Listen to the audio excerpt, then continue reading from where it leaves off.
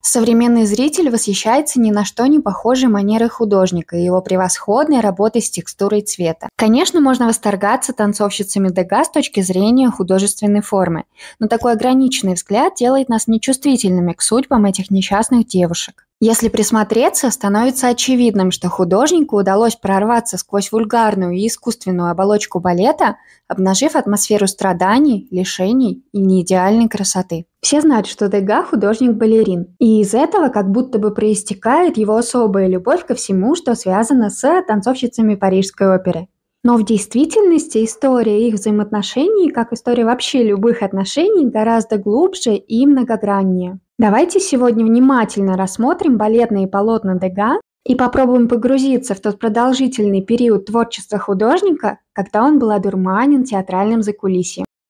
Между прочим, он регулярно посещал театр с 1855 по 1892 год, то есть целых 37 лет, представляете? Тут точно есть о чем поговорить. Вы на канале Russian for Dances, где я с любовью и понятным языком рассказываю о балете и танце в целом.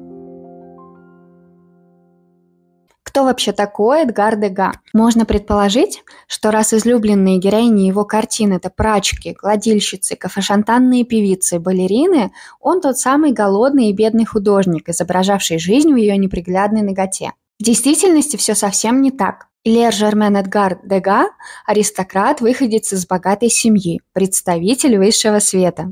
Настоящая его фамилия Га, а Д, указывающая на знатное происхождение, частица. В дальнейшем, наверное, чтобы стать своим среди творческой богемы, он упрощает свою фамилию. Предоставим историкам искусства возможность и дальше вести баталии по поводу того, является ли Дега импрессионистом, а сами обратимся к чистым фактам.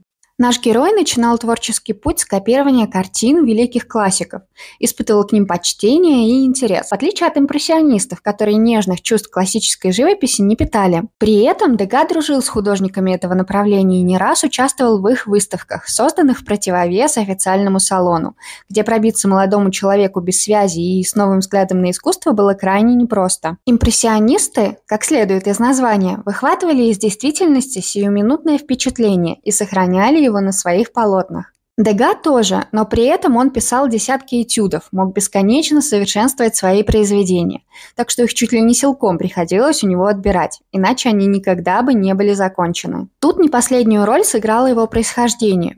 Художник не нуждался в деньгах, поэтому не имел острой необходимости продавать свои работы и мог вечно доводить их до совершенства. Так что, с одной стороны, да, это впечатление, но с другой, как будто бы и не совсем. Дега, безусловно, применял методы импрессионизма, но адаптировал их для закрытого пространства. Импрессионисты писали в основном пейзажи и людей на фоне этих пейзажей – сельских, морских, городских. Но Дега у нас с открытым пространством не ассоциируется, особенно если вспоминать балетную серию. На полотнах изображены репетиционные залы, закулисье и сцена.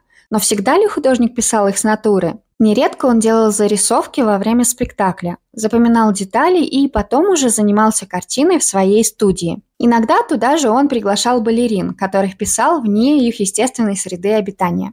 Доступ за кулисы Дега имел благодаря своим знакомствам. Так, фаготист Дезире Диос, картины оркестр оперы, был другом художника и проводил его во внутренние помещения театра. Однако вожделенный абонемент, то есть свободный проход за кулисы, Дега удалось получить только спустя много лет. Присмотримся к балеринам на полотнах Дега.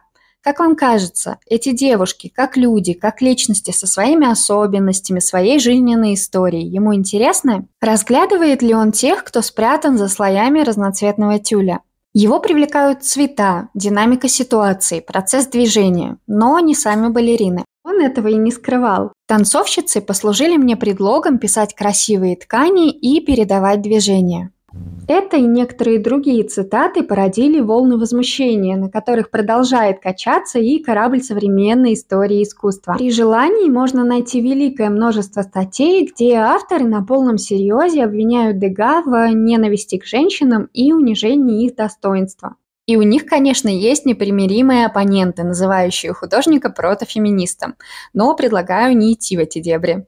Так что же получается, он действительно был так равнодушен к своим балеринам? Если говорить о личных отношениях ДГ с женщинами, Современники и историки сходятся в том, что особого рвения художник в этом плане не проявлял. Разные люди воспринимают такое положение вещей по-разному. Живописец Жан-Франсуа Рафаэли был уверен, Дега явно не любит женщин. А великий Винсент Ван Гог в одном из своих писем сказал об этом так. Дега не любит женщин и знает, что если бы он любил их и спал с ними, то стал бы безнадежен в живописи.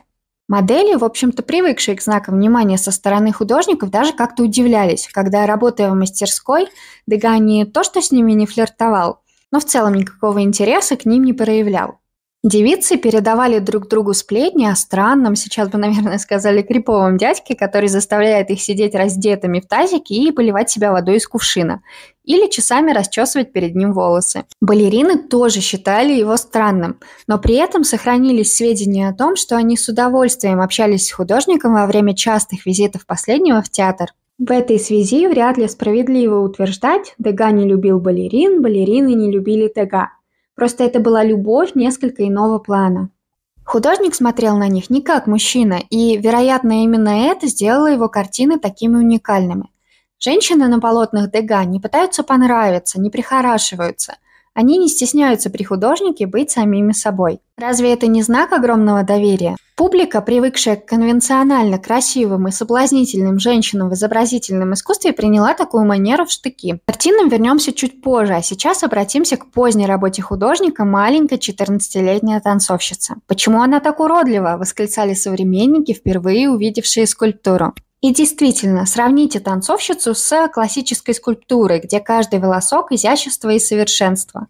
Вся скульптура исполнена поклонением красоте. Что же мы видим здесь? Сутулая, несимпатичная девочка. В ее лице угадываются черты мышонка, что неудивительно. Как вы помните, воспитанниц парижской балетной школы называли и до сих пор продолжают называть крысятами. Если не помните или не знаете, обязательно посмотрите вот это видео. Это не мечта поэта, а заурядный, скучающий маленький крысенок, в котором нет ни капли одухотворенности и какой-либо мысли. Обращаясь к крайне популярной в то время теории криминолога Чезаре Ламброза, в девочке отмечали атовистические дегенеративные черты, свойственные малолетним преступникам. Ее поза – просто поза, а движение – просто движение, без всякого намека на осмысленность. И это не личная характеристика юной модели Мари Ван Геттем, дочки прачки и портного а острая социальная проблема того времени. Как бы зрителям не хотелось в этом признаваться, они сами сделали Мари и других крысят бездушным телом в движении. Недаром Ипполит Тен называл балет рынком женской плоти. А Иван Блох выразился еще резче. Париж сделался высшей школой рафинированной хореографической проституции.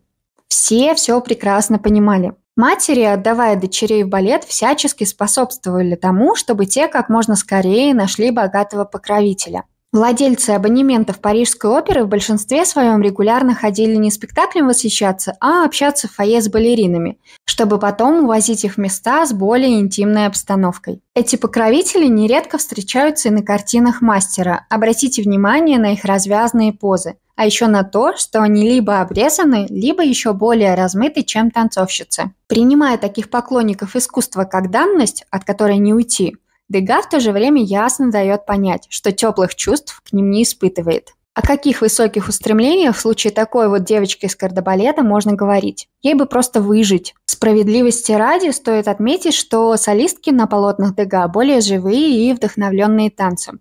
Возможно, так и было на самом деле – ведь эти девушки оказывались совсем в ином положении. Чтобы немного отвлечься от грустной темы, расскажу про саму скульптуру. А она удивительна и уникальна то время как, скажем, серьезные скульпторы ваяли совершенных людей из мрамора и бронзы, Дега сделал свою девочку из воска. Здесь я, очевидно, очень неудачно выразилась. Речь шла, конечно, не о том, что Дега не талантливый и несерьезный скульптор. Я имела в виду то, что он в первую очередь художник, а к скульптуре обратился уже в самом конце своей жизни, когда начал терять зрение.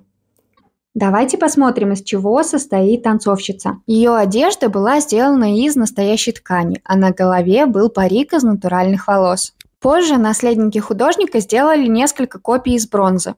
Первоначальная версия тоже сохранилась, но по понятным причинам ее берегут и не выставляют на обозрение публики.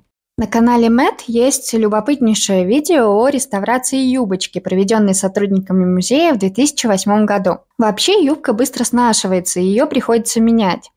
Ткань специально берут не белую, чтобы она сочеталась с бронзой и производила впечатление оригинального элемента скульптуры. Вернемся к живописи. Мысленно уберите яркие костюмы, оденьте танцовщиц в простые репетиционные купальники черного цвета. Что мы увидим? Усталых коренастых женщин с укороченным торсом и короткой шеей, сутулых и неизящных. Посмотрите, например, на полотно танцовщица, позирующая для фотографа. Абсолютно неестественная переходная поза. Нога как будто чужая, плечи подняты к ушам. Корпус непропорционально короткий по сравнению с ногами. Ракурс невыигрышный, ведь балерина позирует не художнику, а фотографу, который стоит вдалеке справа. Или вот четыре танцовщицы с картины 1903 года. Изящны ли они? По-моему, нет. Одухотворены ли они? Нет. Погружены ли в образ? Нет. Примерно та же ситуация на полотне 1900 года. Какой уж тут интерес к своему делу, когда стоит жара, все болит и хочется домой. Для Дега женщины не богини. Он показывает их не только некрасивыми, но и в самые неприглядные моменты во время максимально непоэтичных занятий. Вот балерина поправляет бретельку, другая чешет спину или тоже возится с лифом. Тут вообще производятся какие-то манипуляции под юбкой, такой интимный момент. А тут откровенный зевок. Образ волшебной сильфиды рушится раз и навсегда. Дега интересует рутины, переходные ситуации, такие как выслушивание замечаний, передышка между выходами на сцену, ожидание своей очереди на репетиции. Художник был певцом ускользающего момента, сиюминутного движения. Но вот задача воспеть женщину, раскрыть ее уникальность, показать ее личность, он, кажется, действительно перед собой не ставил. Тем не менее, было бы невозможно создать балетную серию, самую, наверное, известную, без огромной любви к искусству, к балету, этому пестрому миру, в чем-то вульгарному, а в чем-то трагичному. Невозможно 37 лет ходить на спектакли, часами и днями продумывать и доводить до совершенства картины, при этом оставаясь совершенно равнодушным к магии закулисья. Поэтому для себя на поставленный в заголовке вопрос я отвечаю так. Да, это точно была история большой любви. Пожалуйста, напишите в комментариях, что вы думаете обо всем об этом. Нравится ли вам Дега и если да, какая у вас любимая картина? Надеюсь, вам интересно было смотреть это видео. Пожалуйста, поделитесь им со своими друзьями и не забудьте поставить ему лайк. До скорой встречи!